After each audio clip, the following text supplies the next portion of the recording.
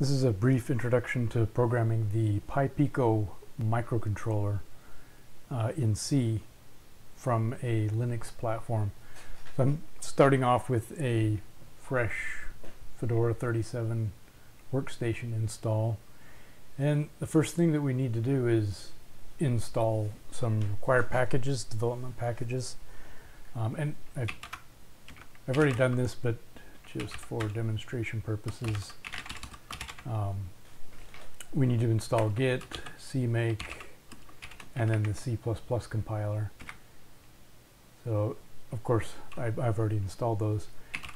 And then there are also some packages that we will need to install for cross-compiling. The workstation is actually an x86 64 platform, and the PiPico is, is an ARM platform. So we need to install the ARM uh, GCC compiler.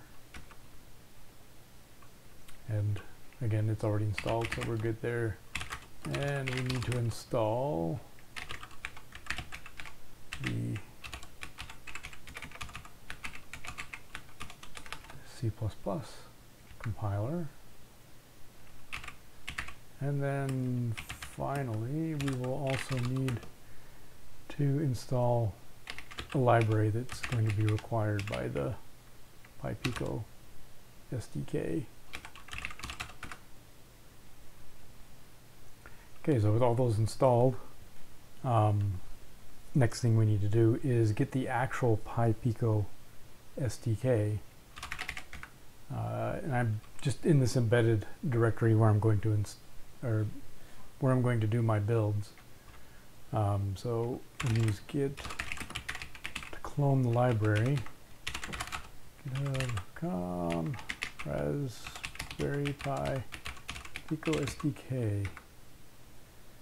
And that will download it into our directory. And there it is. Um, but there's an additional step, so we need to load up some of the submodules. So we go into the directory and get module update in it. And this shouldn't take too long. So once the library is installed and initialized, there we go. So we're actually now ready to uh, begin programming. So uh, let's go down one directory. Well, actually, one last thing. Uh, let's. We need to have an environment variable that lets the compiler know where the, Pi, the Pico SDK is located. So we need to export, and this is going to be, it's in my user's home directory, embedded Pico SDK. So the Pico SDK path environment variable needs to be set uh, so that the compiler will be able to find it. Um, so let's go ahead and now make, uh, we're just going to do a simple blink example. So I'm going to make a directory called blink, go into my, this is where my blink project will be. And first thing I want to do is there's a, um, a CMake file that's included in the Pico SDK that we will need um, for our project. So Pico, so we'll copy that into here and then we need to uh, create a CMake file in here that we're going to use to uh, create the make file for our project. So make it there, and then we'll go to our editor and blink. Let's go ahead and edit this file and uh, populate it with some settings. I'm actually just going to do a cut and paste here. So we're basically setting up our yeah, minimum requirements and including that um, that CMake file that we just copied into our project directory. You can see it here. Um, going to provide some functions that are needed. Uh, defining our project and the CMake standard we want to use. Initializing the Pico SDK. Uh, then specifying our executables that uh, we're going to create. And I haven't created that yet, but we'll we'll create the BlinkC uh, source code, uh, then the link libraries for our project, And then finally, this step is needed, the output is needed uh, to create the UF2 file that we'll use to flash the actual uh, Pi Pico. So we can save that. We don't need this open. So next thing we need is our actual source code, blink.c. So we'll edit blink.c. Again, just for brevity, I'm going to cut and paste and then we'll kind of discuss this a little bit. So we're going to include the uh, standard library for the Pico.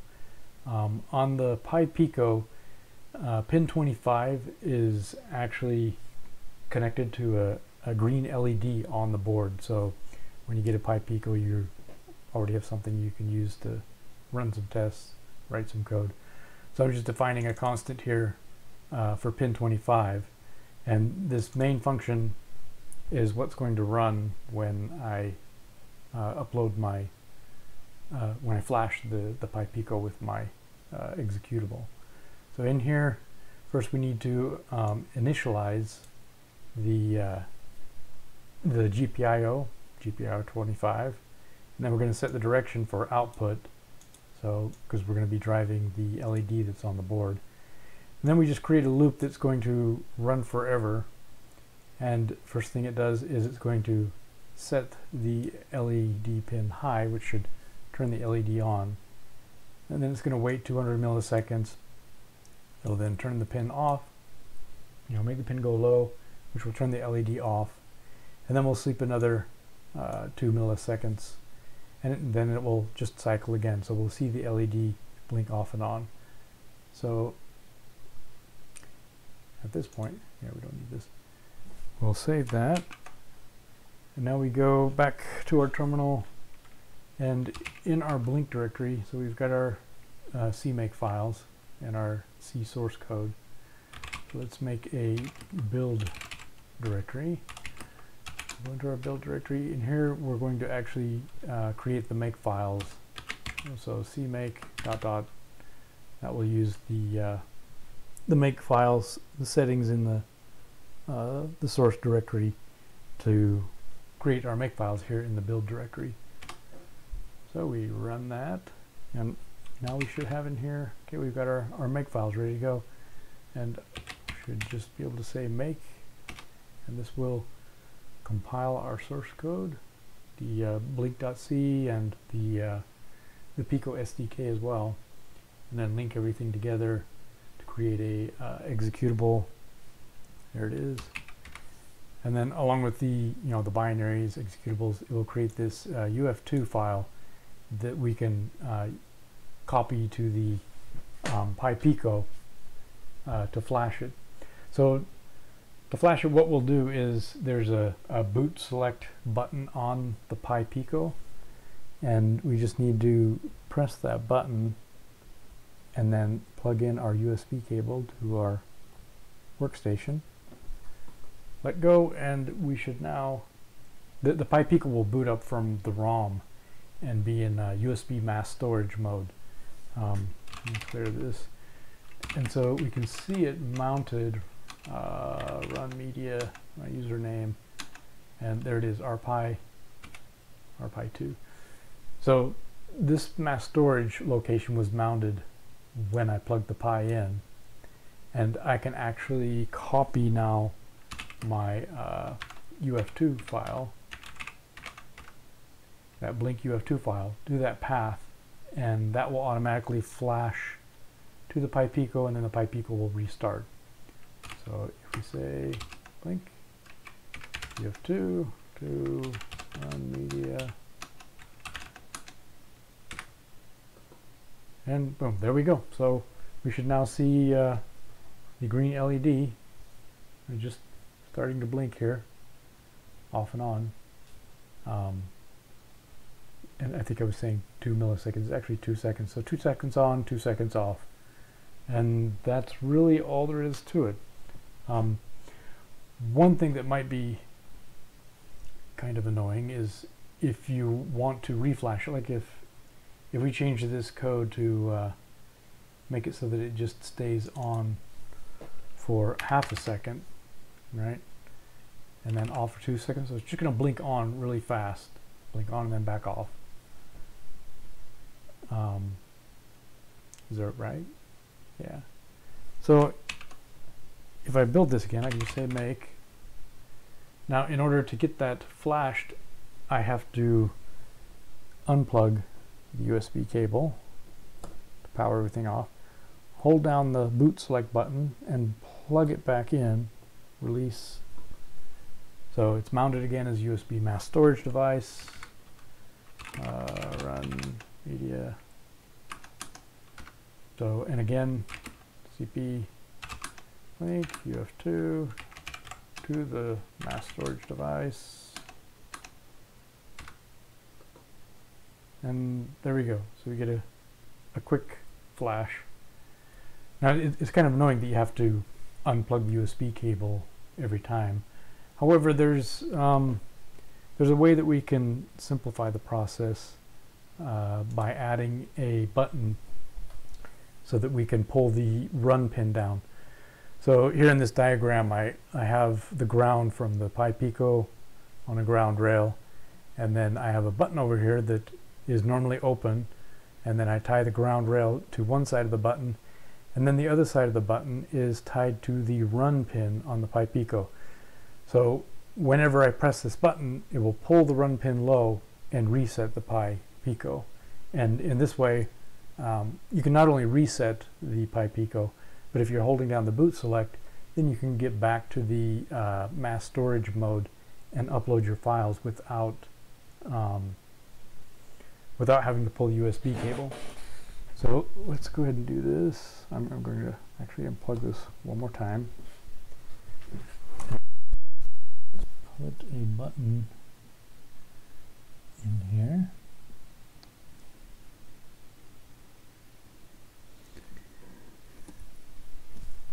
So we've got a button and let's tie pin 3 here to ground to our ground rail.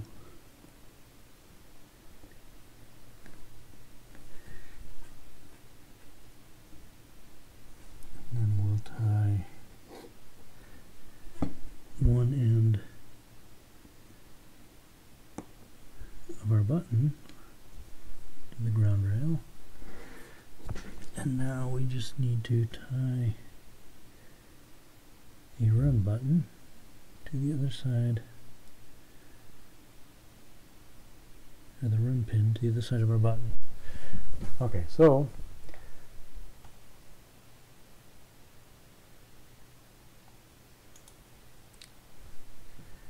we now have basically that circuit that I was just showing. So we now have pin 3 from the Pi Pico tied to our ground rail. And then the ground rail is also tied to one side of a normally open button. The other side of the button is then tied into the run pin. So now when we I plug this in again, of course once we plug it in our program will start to run with our, our fast blink. But if I hold down the run button and the boot select, then release the run button and release boot select, and we're back into the ROM mode. So that makes it so that you can do rapid uh, iterations. So if I was going to change my program, let's make it so it blinks off and on rapidly instead of just the um, on rapidly.